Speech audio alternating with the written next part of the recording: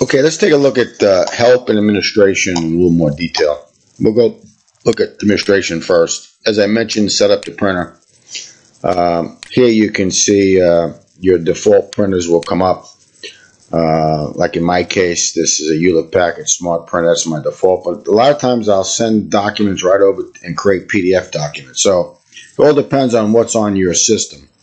But this would be the screen that would come up. You can set, you know, landscape portrait and so on. Also under administration, I said earlier, you can set up your default that goes to the screen or to the printer. Mine is defaulted to the screen. If you change it, it will remember that each time you launch the program.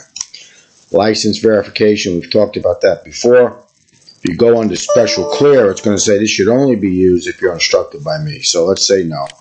So that's uh, something you want to stay away from unless I tell you to go there. And then this database update, you can click it. It says this will update your pre-existing databases. Sometimes I may change uh, uh, within the structure of a database, but I don't really update uh, the program.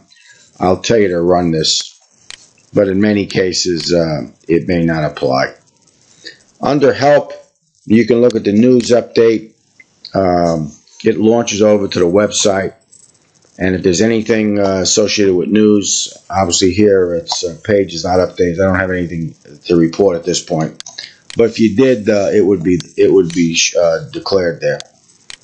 Uh, launch your help screens. Again, uh, help is web based, and you can go through all the basic functions of the program. Pretty exhaustive and very good for you to run through all of these before you run the program. Um, Again, your YouTube videos, you can launch them from the program. Um, and then you can look at a you can uh, look at a process flow diagram.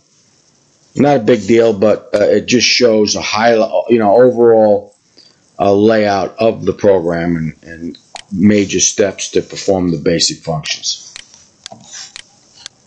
Also, there's a money line and parlay wagering calculator. So if you were looking at, I don't know, a bunch of favorites. So let's say the money lines are one minus 155, minus 100. Let's throw a long shot in. He's going to give you 300.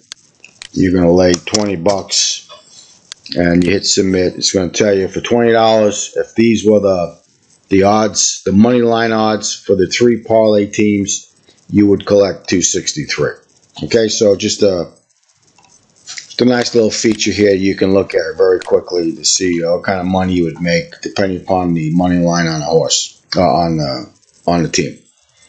And then of course about the program, uh, you can uh, launch over. You could actually look at if you wanted to your uh, license agreement uh, that we have between us. Okay, and that's essentially uh, the administration and help features. And of course, you can exit the program.